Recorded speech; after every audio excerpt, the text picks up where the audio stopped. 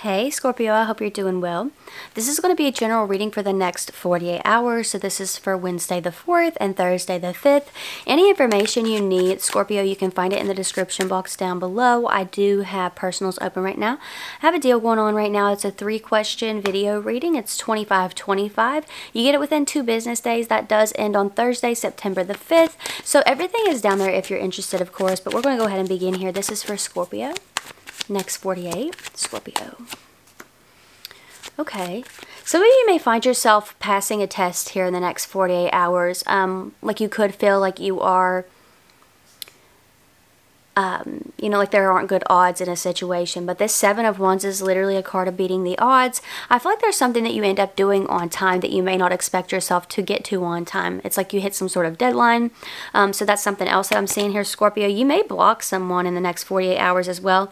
You got the Knight of Pentacles showing up. That's Virgo energy, okay? So this could be like some slow movement in a situation as well. Uh, we'll figure out what's going on with that. It could also just be that you're being very careful or someone in your energy is being very careful. We'll see what's going on. What's going on here for Scorpio? Seven of Pentacles underneath that Seven of Wands. It does look like you get nervous waiting on something here. Like you're waiting on something to, um, you know, someone to call you or you're waiting on something to update. You know, it's something like that here with that Seven of Pentacles and the Ace of Wands. I feel like all is fine here in that situation, Scorpio. So it seems like there's something that you might be worried about. I feel like you're in someone's dreams here over the next 48 hours as well. That randomly just popped into my head. Um, like there's not even really anything in the cards that would indicate that. Uh, okay, that would make sense. Like the clouds here in the Ace of Wands energy, I feel like this does, this is kind of rooted in like attraction, you know? That's how it feels to me anyway, like in somebody's dreams, possibly in like a physical way. That Seven of Pentacles energy, maybe they're like looking at your picture, or something of that nature here. Um, but yeah, you know, I do think that someone's taken a long time to come forward and it's possible that you block them or something of that nature. And this could be what, you know, what results in you showing up in their dreams. It's weird, weird message, Scorpio, but that is something that's coming through here. Um, other than that, I do think that, you know, there is something you could be worried about because it's delayed or it's taking a little bit longer than usual, but I do see it coming through and being fine. There's some sort of like, um, delay or glitch or something of that nature, uh, where it's possible that, like, say you're waiting on a phone call from somebody and maybe they're not in office that day, right? It could be something like that here. What's going on with that Knight of Pentacles? Page of Cups.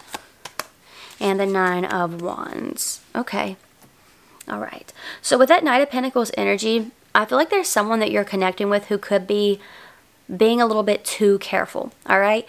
Um, yeah, it's like somebody could be waiting to perfect all of these things before they move something forward with you. And I think that's something that's starting to really get on your nerves. Okay, you're starting to not trust this with that Nine of Wands energy. Somebody here might have their moon in Sagittarius or somewhere in your big three you could have Sagittarius. This Page of Cups energy though, um, like there's an emotional conversation that's happening here where you're like, look, I'm starting to get suspicious things are moving very slowly or it's like th there's something about that here and you may have a person tell you like I want to get my finances in order or I want to get my living situation in order or whatever the case may be and that's all fine and great but life's never perfect. There's always going to be an excuse if you're looking for one and I think that that's what's going on here unfortunately Scorpio.